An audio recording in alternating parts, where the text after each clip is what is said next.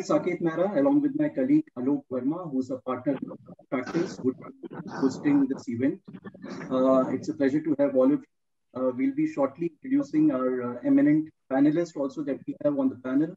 Uh, and they have varied amount of experience ranging from auto, industrial, research, consulting, as well as startups. So I think uh, the way we have structured this uh, entire program is we'll be running a panel discussion followed by a Q&A. Uh, please post your uh, queries or the questions on the chat box and we'll try to answer them to our panelists uh, on towards the end of the panel discussion. and just to set the context, I think, um, you know, when I was listening to the Honorable Minister's speech yesterday, uh, there was one quote which kind of um, uh, clicked me uh, very well throughout this, which is said like uh, it is not enough that we do our best. Sometimes we are required to do what is required to be done. This was a quote from uh, Sir Winston Churchill long time ago, and I think it is very appropriately, uh, you know, kind of um, matching the current environment in which we are why? Because there are many good things which have been done in the past for the economy, which is reflective by the way of uh, the FDI which has come into the country, or maybe by way of uh, the ease of doing business in India index, which has been kind of significantly moved up over the last few years. I think as we, as the economy looked at overcoming the crisis, there was a tough need to do something which was essentially required to be done. And the budget pronouncements, in our view, categorically addressed the aspects which were required to be do to be done fundamentally in the economy.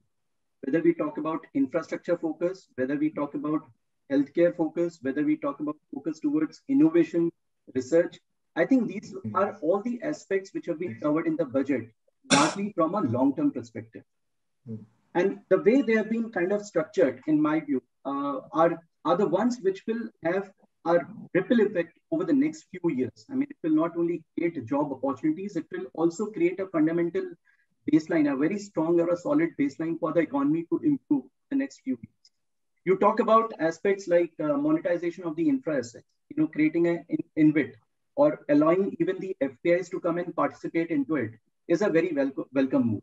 You talk about aspects about the increased capital expenditure, which will generate huge amount of employment opportunities uh, for the overall economy. And it is not only these uh, reforms which have been talked about or an institutional approach which has been talked about, it is also duly supported by some kind of a financial backbone.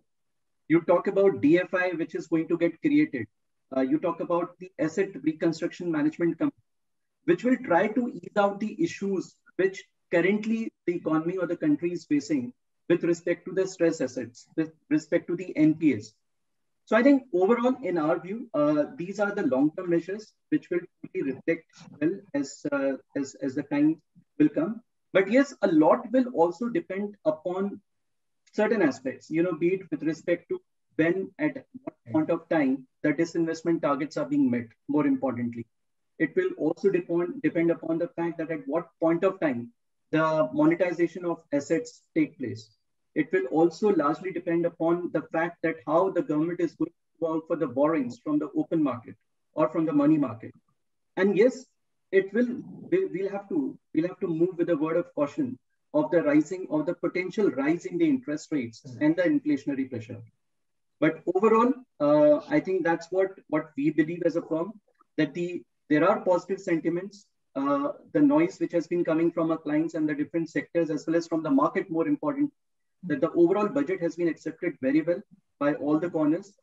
So in order to understand the fine print much better, in order to understand, really decipher the aspects which typically would impact the auto and the manufacturing industry, more importantly, we have the eminent panelists with us, and I'll just quickly introduce uh, one by one. I'll go in an alphabetical order. We have uh, Arun Malhotra with us. Uh, Mr. Malhotra has, over the last three decades, uh, been part of the Indian auto industry. It's a very prominent name. His work with Bajaj Auto, Maruti Suzuki, Mahindra Mahindra, and Nissan India. His last corporate assignment was as managing director on Nissan Motors between 2014 till 2018. He has been deeply involved in areas of brand building, strategic marketing, retail network expansion, training, rural marketing, etc. He has also served as an executive, council member of SIAM, the apex body of the auto industry, and also was the chairman of the Auto Expo in 2008. He is currently working as a strategic consultant and an advisor to auto and also independent director on many uh, on many companies in India. Thank you for joining in, Mr. Malhotra. Uh, we would value you. your inputs, your views on the auto sector particularly. Uh, next we have is Harshvardhan Sharma. Harsh is, uh, is, Harsh is leading automotive retail consulting practice at Nomura Research based out of Gurgaon. Um, he has worked in multiple industries, uh, which includes automotive, luxury goods, e-commerce, financial services. And within these sectors, his focus is on the customer experience, channel management, entry and growth strategy, customer lifetime value management, trade mobility, as well as organization turnaround. So thank you, Harsh, for uh, joining in. Uh, you know, I think it would be good to hear your views, your experience on not only auto and manufacturing, but also on the consumer side. Next, we have Pankaj uh, Dubey. Uh, Pankaj is currently the co-founder of Power Dot Global, which is a US-based startup in the field of energy. Also runs a good advisory firm called DSpin, uh, which provides consulting um, to global and the Indian startups. His last position was the managing director for Polaris India, which was uh, between 2011 till 2020. And he has been instrumental in turnaround of companies like Yamaha and Intex Technologies. Uh, Pankaj has also led five startups during his tenure um, and is also a TEDx speaker with enormous followers on the social media platform. He was also featured in the Black Book, India Most Powerful Men in Luxury, 2015 and 2016, and is also a recipient of the top 50 Indian icon 2016 by M4U Entertainment. Welcome, Pankaj. Uh, it would be uh, you know fantastic to hear your views, particularly on the startups which uh, which had some attention in the in the Union Budget 2021. Next, we have uh, Mr. Raj Gopalan Balasubramaniam. We call him uh, Raj. Um, he's the CFO of TVS Chakra Limited, based out of Chennai. With almost over three decades of experience uh, in handling multiple positions in finance across varied industries, he has also worked in the domain of private equity and also worked with other corporates. During his tenure with the private equity fund, he led many financial due diligence engagements across manufacturing, IT, services, retail, and healthcare, and has enabled promoters to achieve business targets and, and has also advised many family government offices. Thank you, uh, Raj, for joining in. I'm sure your experience of um, working with not only industry, but also on the, on the consulting side with the private equity players will, um, will be very fruitful for our discussion. Next, we have uh, Mr. Venkat Raman. He's a CFO of a large MNC called uh, Grundfos India, based out of Chennai. He again has more than three decades of experience uh, with leading MNCs covering corporate strategy, commercial taxation, costing, information technology, implementation of green projects, ERP implementation, etc. He is also the council member for CII Tamil Nadu State uh, 2016, 17, and 18, 19, as well as he is the convener for the Economic Affairs and Taxation Committee for CII Tamil Nadu State Council. Thank you, uh, Venkat, for joining in. I'm sure your suggestions, your point of view on the policy matters would matter a lot in the discussion. So, and plus, many which ways, we have Alok, whom I introduced. Uh, Alok Verma is a partner, my fellow colleague uh, based out of Mumbai. He focuses on growth as a practice. So with this, we'll start with a quick, um, you know, round of panel discussion. I'll start maybe with Arun. Um, if I can go to you and kind of, uh, you know, understand from you because you have been been so closely associated with the industry throughout your career. And you've seen, uh, you know, not only in terms of how the how the OEMs, but also how the component manufacturers have been re-strategizing uh, over the years. More importantly, during the pandemic time, how what it does to really overcome uh, the, the, the scenario. I have two questions for you, Arun, if I may, which is First is, do you think that the past quarter's performance, you know, the uptake that we is going to sustain and how is it sustained? Number one. And number two, from a rural demand standpoint, which played a very significant role during the pandemic, and also the government. I mean, we heard uh, the honorable minister announcing significant outlay towards the agricultural infrastructure. So, do you think this will create some kind of opportunities for the OEMs in the times to come? Uh, thanks, Saket. Uh, you know, if you look at this year, I think this year has been a unique year for the auto industry. And uh, if I have to just see how this year pans out, it's been, if I go through a quote of uh, Charles Dickens 160 years back, uh, the, the novel A Tale of Two Cities, it was the best of times, it was the worst of times. It was the age of hope, it was the age of despair. It was spring of hope and it was the winter of discontent. Fortunately, we are in the positive part of it. And uh, right from August onwards, things have improved. The first quarter was a unmitigated disaster, had to be with all factories closed down, all retail establishments. But I think the demand is coming back. But I don't think we need to be too much overjoyed with this because we need to take two factors into account. In 2019 and 20 versus 2018-19, we had gone down by 18% in volumes, both in the two-wheeler and the four-wheeler industry. And even this year, although the sales have picked up, there will still be a decline of about 7 to 8% in four-wheelers and 10% in two-wheelers. So effectively, even to come back to the figure of 2018 and 19, the industry next year has to grow by more than 30%. Now there's clearly a pent-up demand which is there.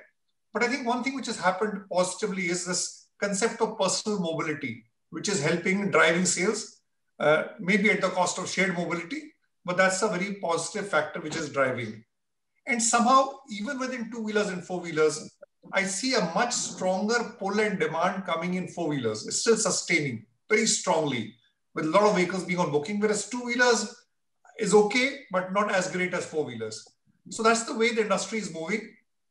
Things are fairly positive at this point of time because uh, manufacturers are at the moment, rather than the pressure is not on selling, the pressure is on meeting on the supply chain, which is being, becoming a challenge. There are different challenges altogether, which we can discuss later. That's the way the industry is. And I believe this quarter is good.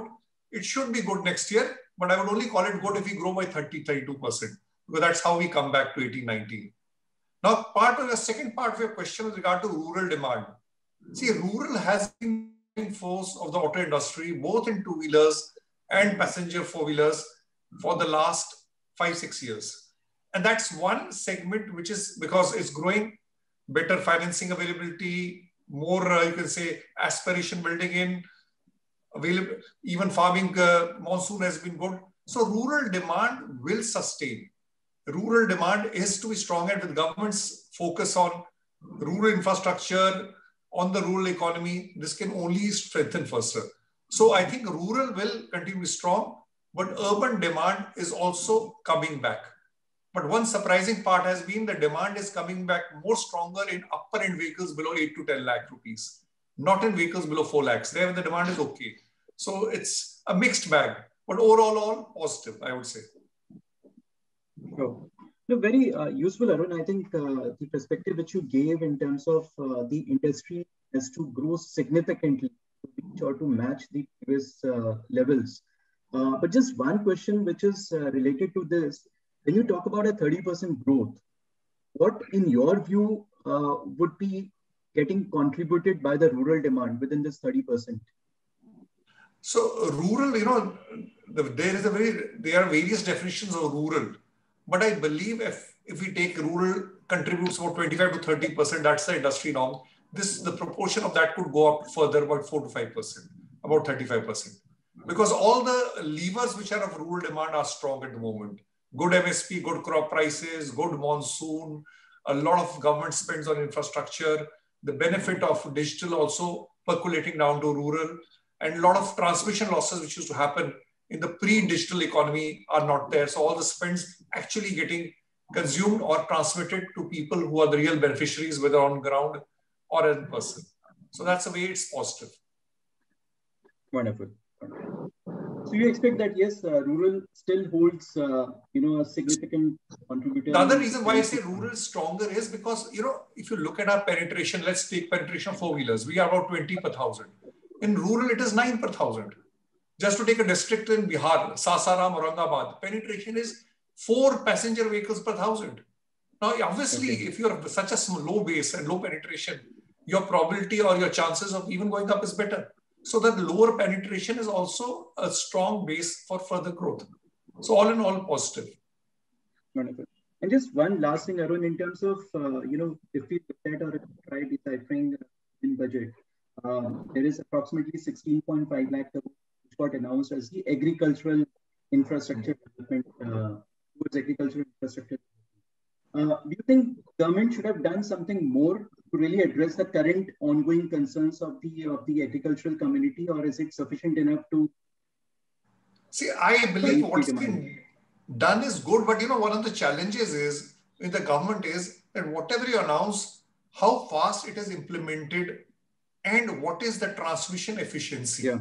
Just to give an example, the PLI scheme, great scheme, production linked incentive but yeah. we still know the contours only. We don't know still the details. So sometimes uh, what has been earmarked is good, but the speed with which we move and the efficiency which we move, I think that's going to be important part. That something has always been a weak area in our ecosystem.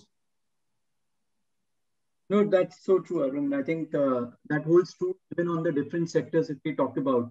You know, whichever um, uh, schemes which got uh, typically get announced, it takes some time to implement. But I think over the last few years, we have seen some kind of a drastic change in terms of implementation.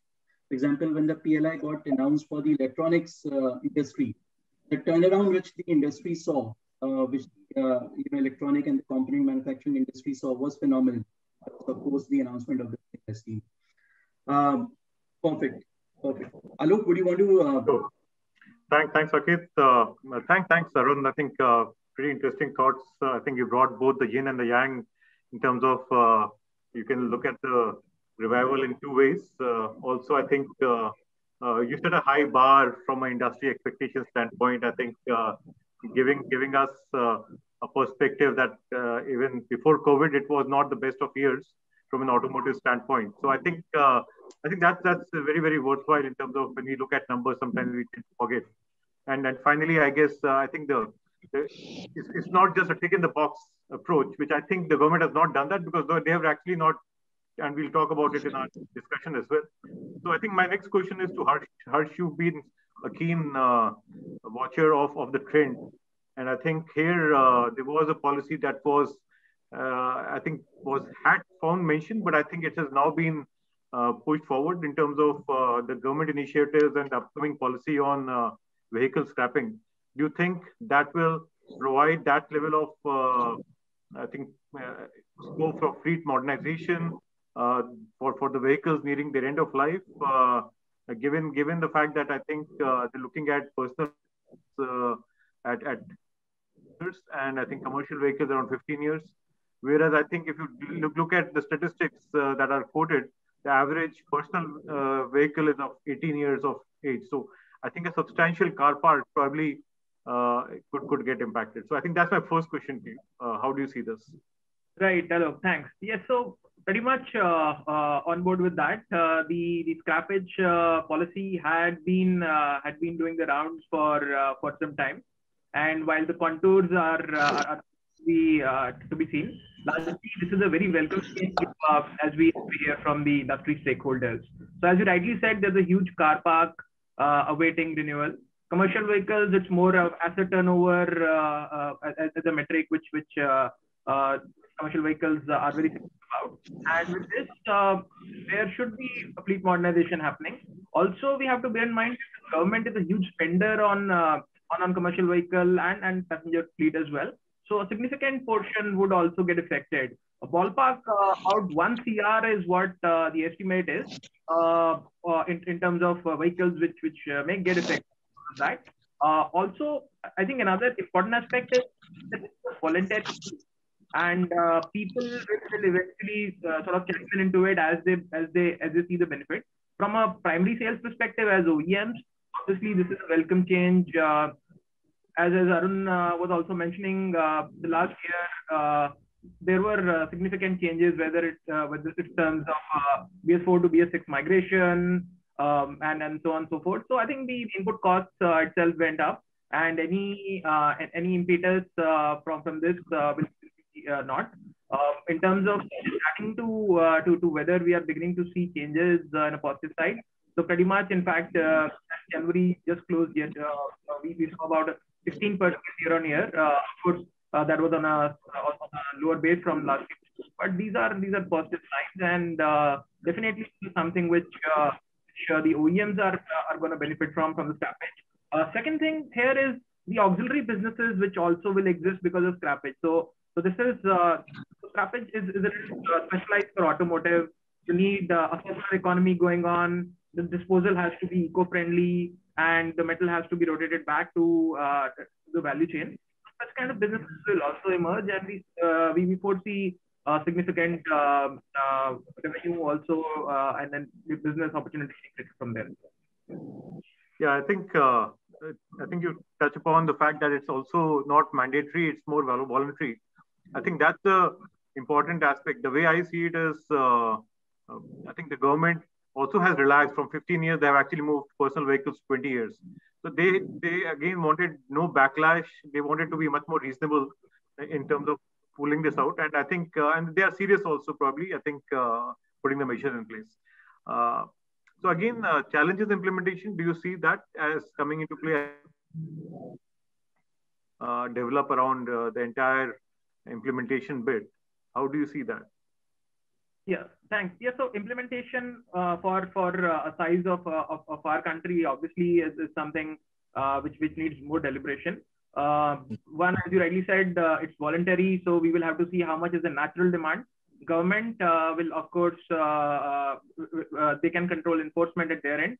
However, for private vehicles, for commercial vehicles, there is also another you know additional data point, which is that while the the scrappage is voluntary, there is a road fitness criteria of of uh, so a road fitness certificate uh, will be required, and that uh, that's not voluntary in that sense. So so in a way, uh, you really uh, cannot be plying uh, your old fleet. of course, you know the the enforcement maybe in in far flung areas. private vehicles, commercial vehicles, anyway fly long distances, so there isn't really a workaround. And uh, I think enforcement is pretty, uh, it, well, it's going to take time. As Arun was also mentioning, the circulation to the last mile uh, will, will take due course of time, but uh, should be fair. Uh, what I think also is, is something which industry is looking forward to uh, is right now there aren't any incentives per se on scrappage, but if the incentives will come in, so, so that might also do something uh, to do with the residual value. OEMs might think of some some models like that. So that is also one more interesting lever which which we can have access to. No, absolutely, absolutely. I think again the government probably is along with this and let's say the high security number plates. I think uh, you can very easily track uh, compliance.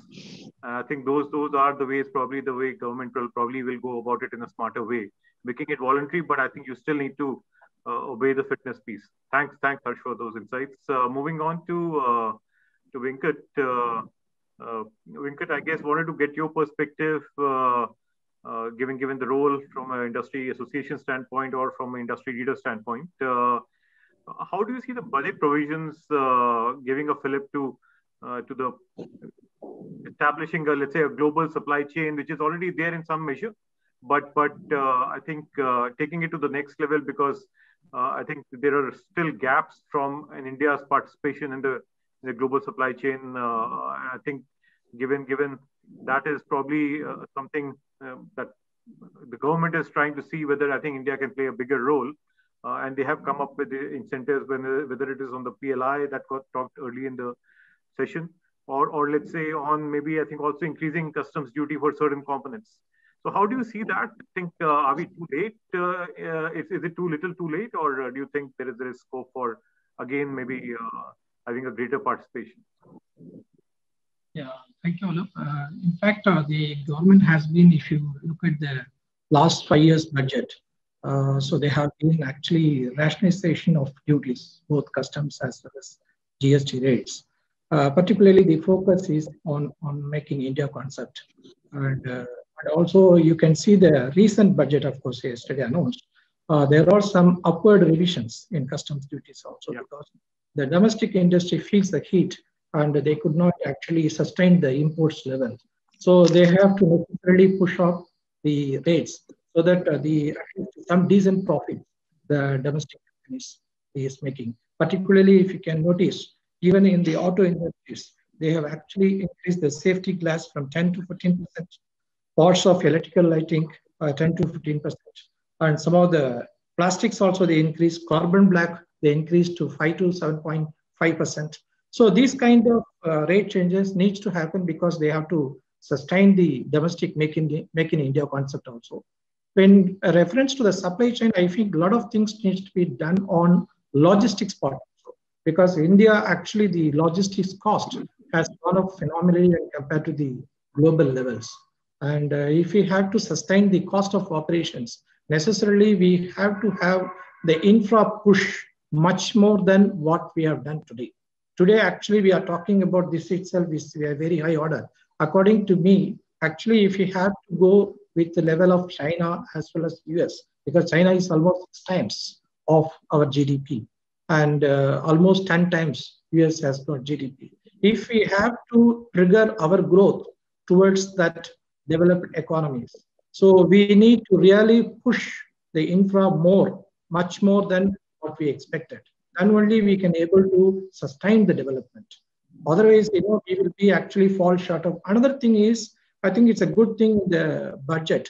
They also created a development finance uh, separately, but uh, corpus is uh, little low. I would say if they have taken a more corpus, that would actually bring in a more growth momentum can happen. So uh, to push forward the growth, I would say we need actually more investments and particularly we should not link the investments with the revenue. So what happened last year? During the pandemic, actually almost uh, 10 lakh crores we lost. Then whatever investments because of the fiscal deficit has gone up to 9.5%, they managed. But however, if they can create a separate SPV, special vehicle, then we can able to cater to the financing needs of particularly infra. Then only we can see the supply chain of entire, we can actually acquire with global. This is my view. And of course, on the compliance and digital economy, definitely they have put in a lot of money. I think that's a welcome change. In fact, uh, one of the things uh, globally they have been talking about India is the compliance cost is pretty high and I think now have, it will come down. I feel going forward because of faceless assessments, IT, and then uh, what you call the Companies Law Act. Also, lot of digitalization has happening. So I think with the compliance cost, GST actually also is happening. So with this, I think the compliance cost would come down, and also the logistic cost should come down over a period of time. So with these changes in the rate structure, logistics, compliance, I feel uh, we may be at par with the global five-year perspective, not today, is my point. Okay, no, I think valid points, uh, uh, that you bring out. Uh, I guess uh, there's a one lakh crore each for uh, railways as well as on the on the highway infrastructure. So I think that will bode well to address the logistical challenge that we face. But again, I think not in this year's economic survey, the last year's economic survey, there was actually a very good comparison of how much time it takes for our goods to move, whether it's outbound or inbound. Both ways we have a challenge, and I think there's huge amount of I think uh, uh, working capital get that gets blocked as part of that, and I think also that ability to uh, uh be very predictable for your own supply chain, I think becomes a challenge. So I think those are the critical things. I'm sure things are moving in that direction. Uh, one last thing, uh, Venkat, was on the uh, FTA front. I think India faces a challenge across industries from from the ASEAN FTAs uh, that have actually impacted our ability to be competitive, and we have seen good amount of I think uh, inflow. So does it really address some of those concerns in some limited way? See, one is uh, we also need to be on innovative on some of the R&D. But actually, uh, really a competition is also good from a perspective of the rates are reduced, and then some imports also we make and then which our quality and as well as our innovation will get improved over a period of time. But at the same time, for example, the solar, uh, in fact, we are also supplying solar pumps. We have had the solar things. Actually, we are also making in India for the other companies. Uh, but what is happening is the we are not at par with the competition, particularly imports. I think good that the government of uh, they have announced the budget there is a hike in the uh, duties. So that's kind of really would help the domestic industries. But as you rightly said, even though uh, we have signed the agreement to at par with the global customs duty rates, but uh, definitely to sustain some of the domestic industry, we need to, it will take some time. I feel it cannot happen in a year. I think it will take maybe probably two to four years to have this kind of rates to at par with the ASEAN rates. Sure. Yeah, thanks, thanks, Venkat. Uh, over to you, Saket. Yeah, no, thanks, Alok. I think very useful and very insightful, uh, Mr. Venkat. And I think uh, supply chain risk is the most talked about uh, risk uh, in today's uh, environment. We've seen uh, major auto players facing the risk of shortage of semiconductors, for example. And this is not only India, but globally as well. The supply chain typically is now appearing as the most talked about, most perceived risk. And the ability to kind of address or mitigate that risk resides not only with the players, with the manufacturers, but also government support. Which so continuing with the same theme, if I can go to you, uh, Raja, and talk about more from an auto industry standpoint. You represent a large OEM. You have a dependency on the component manufacturers. The component manufacturers also have a dependency on uh, you know the manufacturers. Thus, any which ways, India, you know, when, when you talk about the auto component imports in India, largely we import from China, we import uh, from Germany, from Japan, we import from US, and bearing China, the other countries that uh, you know from where we import are still not completely recovered from the from the pandemic. Now, given this kind of a situation, uh, what are your views in terms of what has been announced in the Union Budget 2021 particularly focusing or increasing or doubling up the outlet towards the MSMEs in terms of providing the credit guarantees to the MSMEs? Or there could have been something better done to enhance the bilateral trade relations between India and the other countries to de-risk ourselves from the supply chain risk? Thank you very much uh, for the opportunity. Uh, morning to everyone. A couple of points, uh, like the previous speaker said, uh, we have these policy uh, intentions. The key is in execution. And uh, that will play a key role in rolling anything forward. Say, for example, even the scrappage policy, which has been announced, it's more to do with, say, voluntary uh, scrapping. So one has to translate it into a on the ground reality. How many of them are, say, uh, one lorry operator or two or three? What is their means of finance? How are they even going to scrap the vehicle and what is the total cost of ownership? For them, it should make sense to move on. And we can't stop with saying that there is an intention to scrap the vehicle at 15 years. The government, for example, can lead the way to say, we will scrap any vehicle beyond 15 years, and they can actually provide the impetus to move the traffic forward. That's one angle. So the key is translation of the intention into an execution on the ground. That's far more important than any of these. Yes, there has been a lot of uh, good intention which has been stated. The key should be in execution. In terms of MSME, the question that you asked, yes, definitely that is a very, very welcome move. Uh, doubling to about 15,000 crores, that's a very welcome move. What the government should also enable is how do the MSMEs actually move the productivity ladder up by getting their uh, entire act in order, be it labor productivity or be it cost of manufacture because we can continue to say that we want to have a protectionist policy, like the previous speaker said, that we will have to protect our local listing, which is absolutely required. But what is really required is how do I actually achieve scale and not be part of MSME on a continuous basis. We can't have a, a situation where MSME continue to remain MSME. How do I scale it up beyond MSME to say that there is a larger scale of production and therefore there is an enablement for ensuring that the cost of production comes down. And that's the only way we can move forward. And that we require a lot of thought process and the government has to enable something in that direction so that the total cost comes down, be setting up a new plant. What about the land cost? What about the power cost? What about uh, the entire uh, productivity of the labor? So we would need to address all these holistically for MSME to move beyond being MSME and not get stuck there. It's very easy to get stuck there.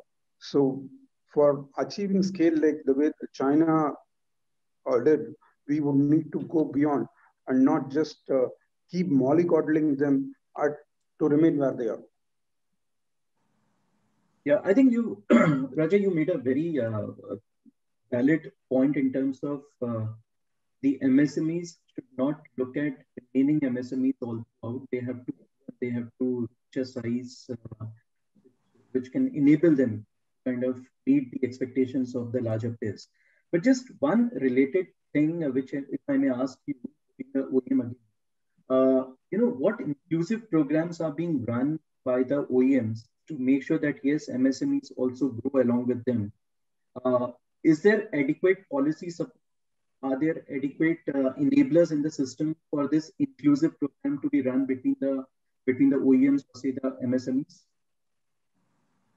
Yeah, the OEMs would want a certain set of products coming to them on a specified time frame because that's linked to the production. Now, yeah. there is definitely a, a, big brother attitude between the OEMs and the MSMEs because that is a scale that is going to be there in any case, which is why I was making the point on you would need to move up the chain to say that there is a larger set of people growing up the ladder than trying to just remain where they are. So that is very important for scale to be achieved yes, OEMs would definitely be of help, but then there has to be an enabler in terms of how does the entire ecosystem move up the value chain. Sure, sure. No, very important. I think. Uh... Hello, over to you. Sure. Thanks, thanks, uh, Akit. Uh, I think which brings us, I think, uh, to to our, uh, I think, on the electric vehicle. Although there is uh, not a direct mention of uh, EVs in the policy uh, or, or this budget kind of provisions. But I guess there are going to be positive impact because of capex investments by the government, push to the PPP model. I think that earmarking 18,000 crores for for for the the bus sector. Again, they have not specified whether it's solely for EV or it's a mixed kind of investment there. But I think all of it probably has uh, a positive impact. But uh, I wanted to get your views, uh, Pankaj, uh, given uh, the role you play in this industry as well as you know the traditional industry as well. Uh, any any expectation mismatch from the industry, or are, are you happy that it's not a tick in the box exercise?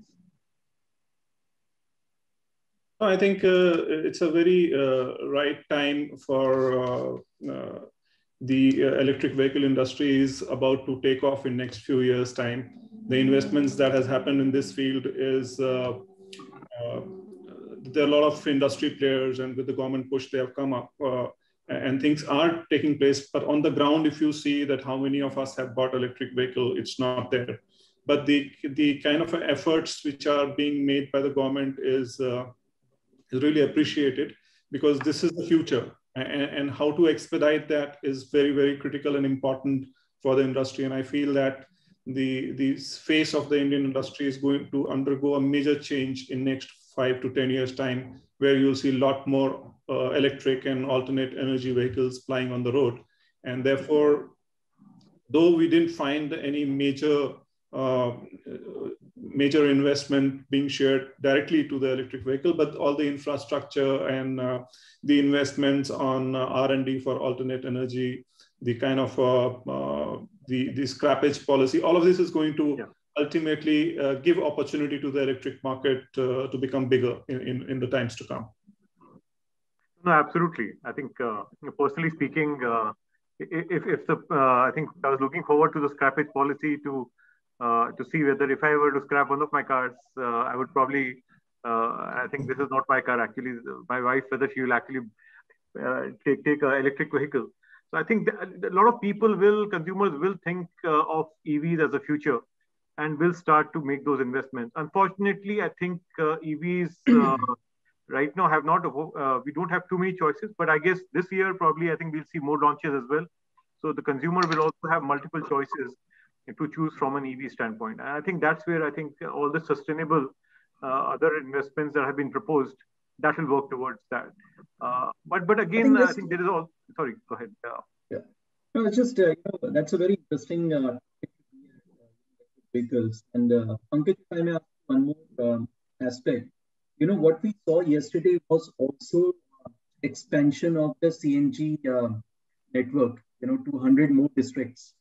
Plus, uh, there, were, there was also a, uh, mention about the hydrogen energy mission being talked about. So do you think the government is still evaluating or contemplating alternative fuels to come in? Or are we straight away moving towards EV as the only um, alternative uh, fuel technology? See, uh, internationally, uh, we haven't seen uh, anything other than electric vehicle becoming commercially viable as of now. There is a lot of uh, options which are there and people are working on it, but you don't see anything uh, which is going to change the uh, existing petrol and diesel vehicles, except for electric. Hydrogen, there are some work which has happened, but you know there are a lot of challenges there as well. Um, and therefore to manage uh, those challenges governments are working around it. But uh, practically speaking i think ev is the way forward for now at least for next decade or so. Meanwhile new developments will definitely happen and, and with that you know some changes might happen to that. But the platform which is uh, for electric vehicle is pretty open where you can do a lot more uh, changes uh, and even adapt to the new uh, technologies very quickly. Unlike like a petrol and diesel vehicle, it's like every corner of the vehicle is compact and there are something or the other kept. Uh, whereas in an electric vehicle, you will have a lot more maneuverability to change with the removal of the battery or just a few motors here and there. I think for now, I think the focus has to be on electric vehicle, but uh, I appreciate the investments that the government is make, going to do on the R&D front. Uh, the, the investments uh, are going to help us because alternate energy is something where I feel is the real thing that can transform the economy of the country. No matter what we do in whichever field, but I think if we invest rightly into the alternate energy, mm, this can uh, actually take off the Indian economy to be probably number one at some point of time in next uh, few decades or so. This is therefore very critical for the economy to invest right now at what alternate energy. Like we know that uh, the fuel, the current petrol and diesel got uh, invented by Americans in the Middle East, and then you know the fortunes of that place changed. And, and similarly, now uh, China has almost uh, taken over the lithium uh, all over the world. So uh, it's good to go along with that for the time being. But if you have your own alternate energy on which you can build upon, I mean, India can definitely become uh, the way that Middle East has got the benefit. We can also get the same benefit if we focus on that. To, to that extent, I would really appreciate the investment which is being done on R&D. I think a lot more needs to be done. The involvement of the industrialists, scientists, and everybody has to be there. And, and it is very critical that the next one decade, the electric vehicle industry is allowed to be penetrated uh, and, and made more useful from the perspective. And that is why, you know, I was expecting more in this field, which uh, to, to directly benefit this industry, which didn't come through. Uh, it's more uh, indirect benefits that are there in the current year's yeah, budget. Yeah. No, I think, I think just, just wanted to add, uh, yeah, please, I totally agree, if with your permission, with what Pankaj has said that uh, we need to focus on one. We can't be filtering from one to other. Hydrogen fuel is far away. But you know, I don't want to disdain grim reality with pretty phrases. Somehow our progress in the last three years in electric vehicles has been very poor, even by low standards. Just let's look at the FAME 2 policy. 10,000 crores earmarked for three years.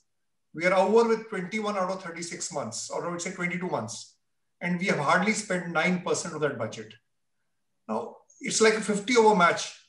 You're over by 30 overs the over and you spend, you have scored only 9% of the runs you know, somehow that speed, that action, and even the way it was formulated, there need to be course correction. We set a bar too high. We said personal vehicles will not be part of it. In two wheelers, we set a lot of preconditions in terms of range, in terms of power, in terms of indigenization, in terms of price. And what are we having? So I think there is to be a more concentrated, and Mr. Rajgopal even said, you know, policy is good, but policy you need to implement well. And suppose you're finding some gaps in the policy or certain new things coming up, you need to course correct. That somehow is not happening on the EV. So there is no two opinion, EV is the future. But I, I would like to say that somehow that full focus that is just not there. I mean, it might happen because of the ecosystem, it might happen because of the innovation in the world. But I don't think as a government, we are really putting all our forces together. Look at the charging stations. Yeah. How many public charging stations, fast public charging stations are there in the country today? Hardly any. So where are we expecting it? And you know, four R's are important. The right price, range, reach, and reassurance. Unless these four R's, the industry, the government, the bodies work together, I think it's like Rome, it's, it's far away. It's too far away at this point of time. And it can be expedited. That's my concern. So I like to be frank on that. No, I think that's that's, uh, that's very right, Arun. And if I may ask uh, the point which you raised in terms of the FAME 2 not being so effective or not being, uh, you know, very well implemented. Uh, what really hasn't worked? Is it the demand side incentives which hasn't worked? See, two things haven't worked. One is out of 10,000 crores, 2,000 crores was earmarked for infrastructure. It would have been great if that infrastructure was front loaded rather than waiting for electric vehicles to come. If you had put set up the charging stations in advance, we had enough budgets. So that has not worked. You have a lot of announcements. So many charging stations are coming, but how many are implemented? How many are in usable form? That's not there. Second part, I think we tried to raise the bar. I mean, we could have gone through an approach which even uh, countries in Europe have gone through Norway. A hybrid electric, a strong hybrid electric vehicle, a plug-in hybrid. Let's have a transition phase because you want to reduce emissions, you want to improve uh, also fuel efficiency or less oil consumption. So we've been too, I would say, visionary, but without having our feet on the ground. So even that approach okay. is not there. Even you could have had some taxation in between. You could have very strict norms that you need this. So somehow I think it's it's too utopian because the norms which were set when anybody I saw it for the first time, the norms which said two wheelers and Pankaj would wear me out. I, mean, they look very impractical. You can't climb uh, Mount Everest in one day.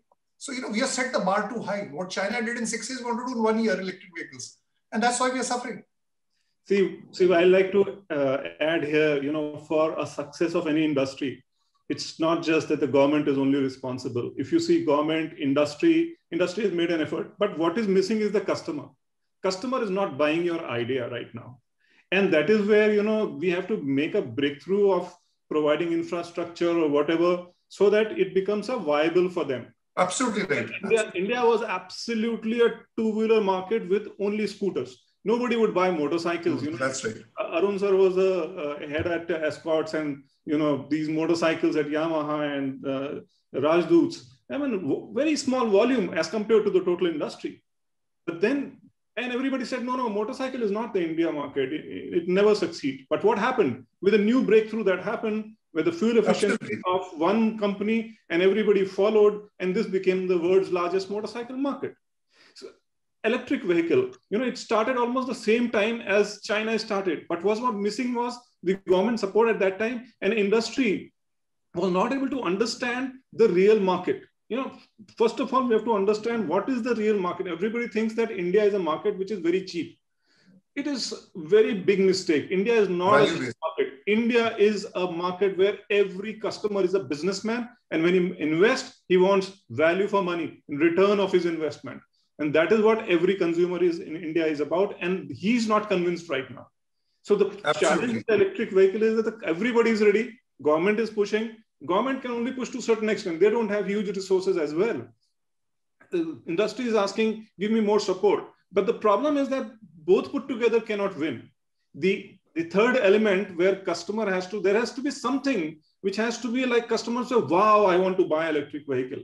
Not because that I want to have a third vehicle and my wife is saying, so let me have one but it is not a viable like a conversion from a scooter to motorcycle it's not there right now in the electric vehicle. Absolutely. and that is where the technological breakthrough has to happen. That is where the investment or r&d has to be worked upon so that it becomes automatically viable. No industry will flourish only with the support of the government. After the day that the government withdraws the support industry will fall flat.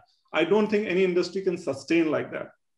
So for the electric industry, we I feel that we are at a at a point where it will really take off in the next five to ten years time. Mark my words, the, the roads will change completely with the electric vehicles, and that can happen with some of the new breakthroughs that has come in, and and and with an alternate energy solutions, we'll have. Uh, the company that I have invested has one very good solution which will really transform the country, and uh, and similarly, you know, there are other options and alternative energy needs to be worked out to see how tomorrow, if the customer says, now my I'm investing into petrol and diesel, but the petrol and diesel is uh, very expensive. I've got this, which is much cheaper and it is very viable.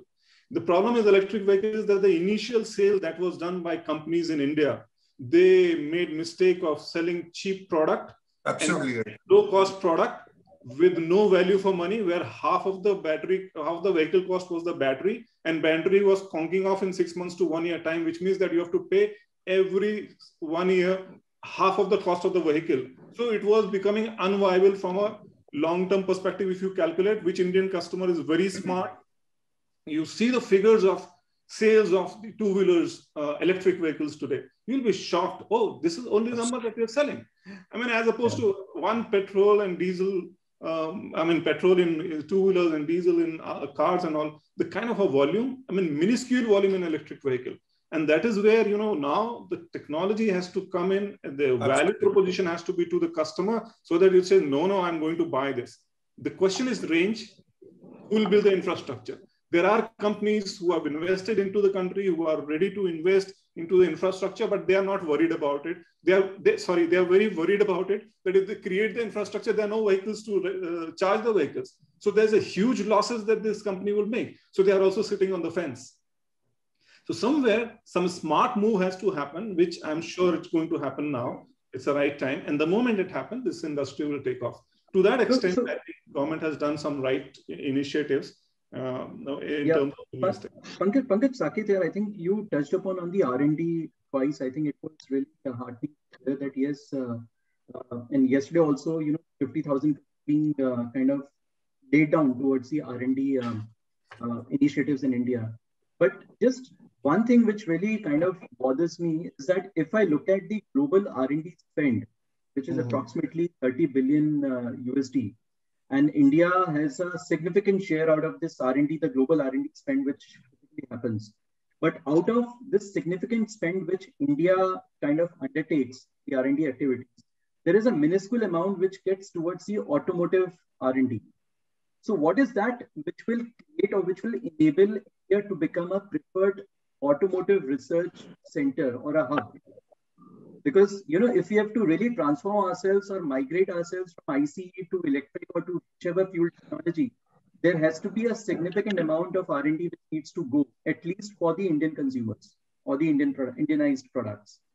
I absolutely agree with you, Saket. You know, there are all kinds of cess which are being levied today, like petrol and diesel have gone up in this budget with the cess being applicable. Why can't we have an R&D uh, cess? I mean, at least there will be a development that is going to happen where we will take a lead.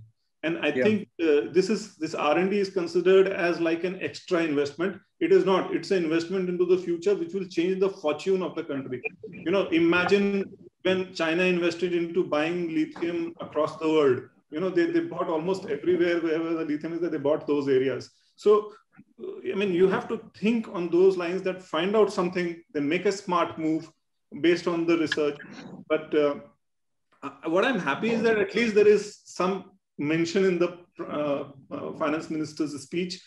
Is something which is like R&D is now suddenly there's something coming up that we'll do something. So that's a welcome step. I, I think the quantum of money or uh, the kind of a, I mean, even a thought and some action in this field will change the fortunes of country. Let's go round the, round the table. Harsh, what are your views, particularly on the R&D uh, front? Yeah, thanks. In fact, I was doing time, and so I completely agree with Mr. Dubey and Mr. Malhotra as well. I think the the issue of uh, of R&D, and I'm going to link it back to, to electric vehicles as well. So if you look at a, a typical EV for any form factor, about 50% attributed to the battery itself.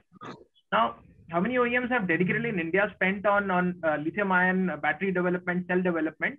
So there is a even for PLI, the government's pushing that yeah we should have local manufacturing. So it's a it's, it's a catch 22 situation. Someone has to. Uh, I mean, we all like to talk about uh, Elon Musk and Tesla. Somewhere, someone did that uh, that that giant of faith, and uh, we have volumes to sustain. So uh, the market forces will determine what is the what is the product market fit, whether there is enough. So if we can if we can make a convincing argument for a for a year for consumer considering uh, considering uh, an entry level 100 cc motorcycle to look at an electric uh, two wheeler then i think uh, that that part is done. To in order for us to do that there are uh, there are the the manufacturing uh, challenges. So whether it's dc dc motors battery packs all of them require significant amount of localization charger guns uh, wiring harnesses how much of it we can localize and the second part about electric vehicles also just going to take a step back and talk about the whole impetus on energy security and the well-to-wheel emissions. So right now, uh, where are we firing our power plants from? Uh, what's turning the turbine? It's, that's coal. So what about, uh, so how do we, uh, so as, as Mr. Malhotra was also mentioning, why not look at, uh, look, look at uh, developed markets who have turned to hybrids? Hybrids provide a, a, very good transition and some of these usability and adaptability issues can also be tested. So I think it has to be. While I completely agree with Mr. Dubey, eventually we have to have uh, we have to be a zero emission, uh, probably an electric uh, kind of a market.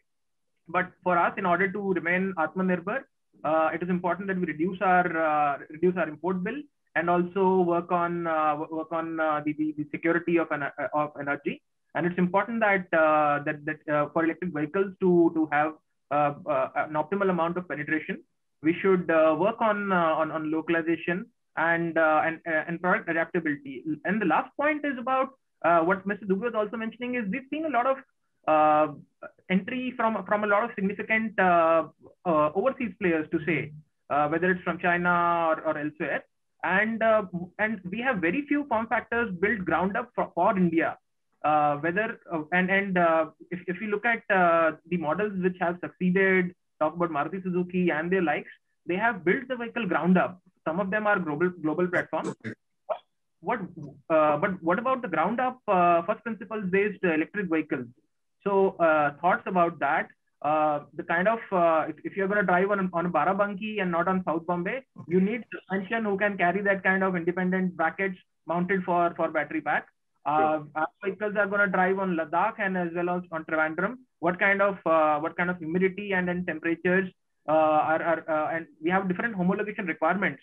So I think uh, those are some requirements which also need to be in consideration. There are uh, there's, there's the idea of India sure. is multi areas. So what form factor is going to appeal? So I think let, let's have also thanks thanks Harsh. let's quickly I think go around with just uh, one aspect of takeaway, let's say, I think it could be a hit from a budget standpoint, or let's say if you want to highlight a miss. But just I think in one sentence, if you can just go around, that'll be great. Uh, if you can just go to uh, Venkat, uh, just just a, one takeaway, a hit or a miss that you would want to highlight. On the budget? Yeah. Uh, see, one thing is expected is the consumption we need to actually stimulate, uh, which is likely missing. In the sense is they have invested quite a lot on uh, infra push and things like that. But uh, what they consumption is your is your uh, a miss in terms of we have not done enough on, on consumption. Let's let's yeah. To, great. Yeah, thanks, okay. thanks, for, thanks, thanks for that. Uh, as we're just winding up, I think we're going to be called by the.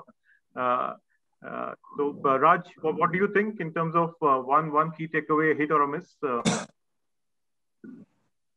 Uh, good uh, directional intention uh, needs uh, execution at the ground level. And that is what I would believe some action is required. Intention is good.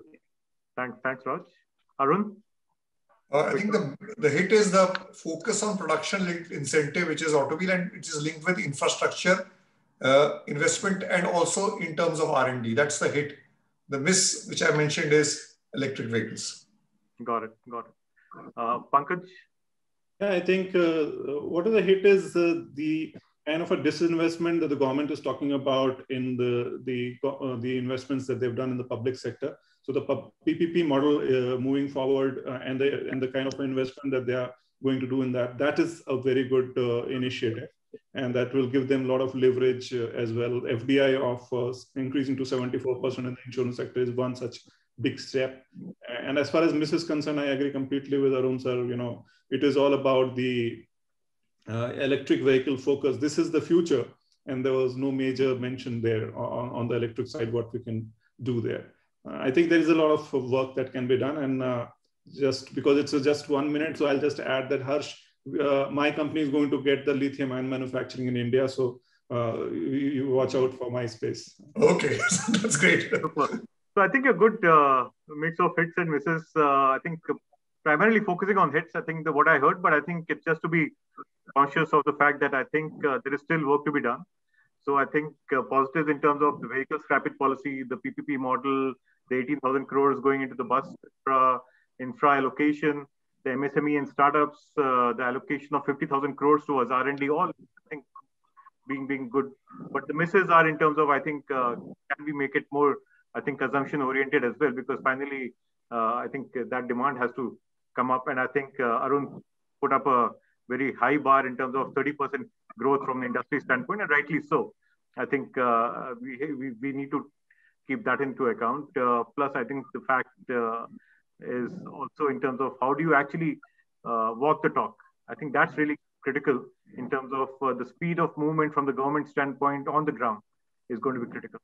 Uh, but yeah, I think uh, Saket, anything you want to add? Uh, but I think that's the. I think it's been very, uh, you know, very well summed up. Um, I think the common voice which is getting is it's been a hit. Uh, overall, as I said, uh, what we are hearing from our clients and the markets. Um, but yes, uh, we need to remain a bit more cautious. As I said earlier, one is from an inflationary pressure standpoint, and second is from the interest rates. So I think with this, uh, we have come to a conclusion. There are a few questions which you can see on the chat box. Uh, in the interest of time, uh, we'll take it offline. We'll reach out to you uh, to get the answers for these questions and we'll respond back to the audience. I think it was similar. I think it was what the panel also uh, talked about.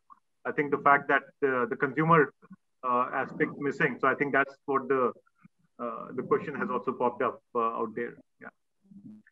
So it's been a pleasure, I think, at least uh, from our standpoint, uh, from Grant Thornton, uh, uh, to, to have such a uh, insightful audience, as well as I think esteemed panelists who were able to kind of shed light towards, I think, the different aspects of, of the budget and auto and manufacturing industry.